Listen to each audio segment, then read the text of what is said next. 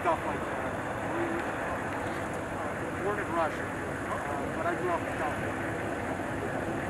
So I think seven years in LA office.